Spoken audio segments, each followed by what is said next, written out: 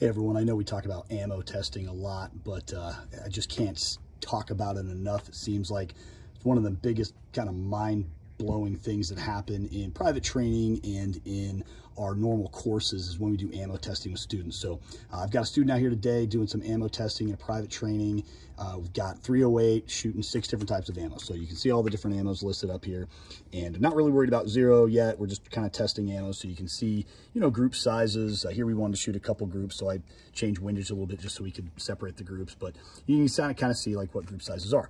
Then we move back to 300 yards. You know, you really want to make sure that whenever you're testing your ammo, you test it at distances greater than 100 because things sometimes that perform really well at 100 don't always perform well as they get out to stabilize uh, at other distances. And we're about to go back even farther, go back to 500 here in a minute, but here's the results of that same ammo shot in the same order and what it did at 300.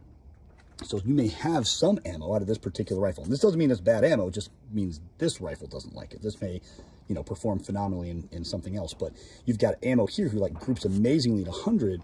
But then we got back to 300, it wasn't as good as some of the M other rounds that got tested. So even though they may not have been as great at 100, they were actually better as they went over distance. So just uh, another example. Here we had some winds we were playing with. I don't really try to hold too much for wind when we're doing ammo testing, just kind of shoot it as is. Uh, we have our reasons. But anyways, um, 100, 300, and then that is able to, when we actually decide what to choose, we're able to get the best possible performance. Here's our first group, and then uh, our final zero group for this student.